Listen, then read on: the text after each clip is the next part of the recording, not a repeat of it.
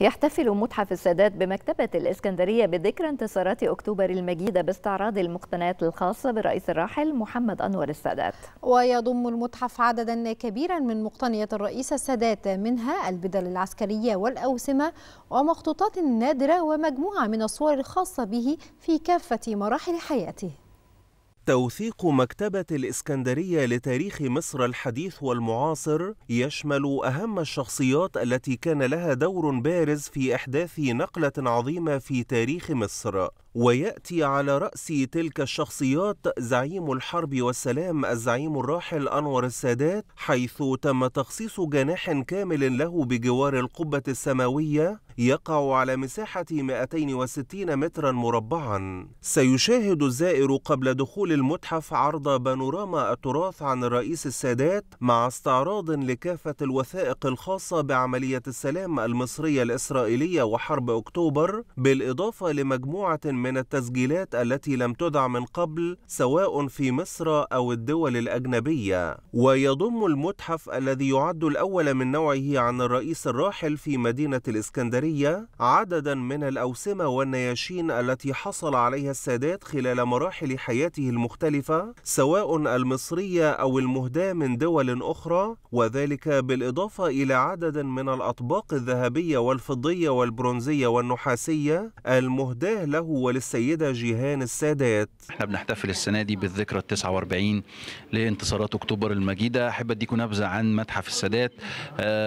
ده متحف الرئيس الراحل محمد أنور السادات في مكتبة الأسكندرية. بيضم مجموعة كبيرة جدا من مقتنياته اللي أهدت أهدتها لينا أسرته ممثلة في الراحلة السيدة جيهان السادات لمكتبة الأسكندرية تخليدا لذكراه.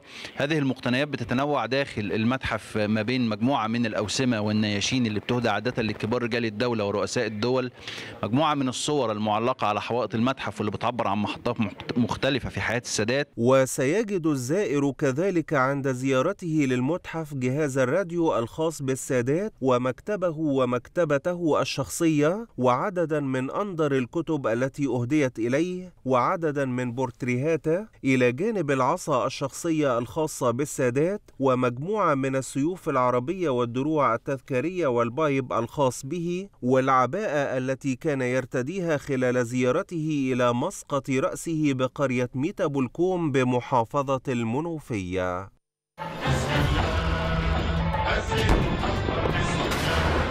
إن هذه القوات أخذت في يدها بعد صدور الأمر لها زمام المبادئة وحققت مفاجأة العدو وأفقدته توازنه بحركتها السريعة.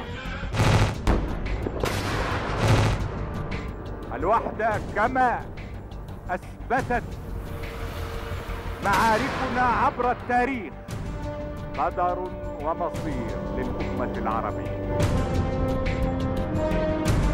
وعندما تدق أجراس السلام فلن توجد يد لتدق طبول الحرب وإذا وجدت فلن يسمع لها